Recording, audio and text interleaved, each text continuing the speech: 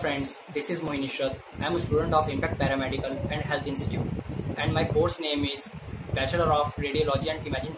Friends मेरा आज का टॉपिक है how to improve speaking skills जैसे कि फ्रेंड्स हम सब जानते हैं कि कोरोना वायरस की वजह से सब जगह लॉकडाउन है। हम घर में रह के कुछ ऐसी एक्टिविटीज़ कर सकते हैं जिससे हम अपनी स्पीकिंग स्किल को इम्प्रूव कर सकते हैं। तो आइए फ्रेंड्स हम इस लॉकडाउन का फ़ायदा उठाएँ। हम इंग्लिश मूवीज़ देख सकते हैं। Sure as a jury in a witch trial, they do. Mermaids have. Oh, they have mustaches? Did you? हम इंग्लिश न्यूज देख सकते हैं India's COVID-19 lockdown beyond April 15. We are together in this battle, assures the Prime Minister, tells the Chief Ministers that he is available 24 by 7 to them. India sees a jump of almost nine. हम English music सुन सकते हैं One more time, so I हम English book read कर सकते हैं।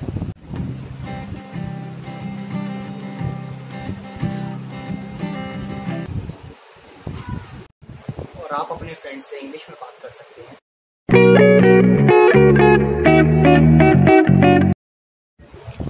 यह सबसे अच्छा तरीका, हम मिरर के सामने खड़े होकर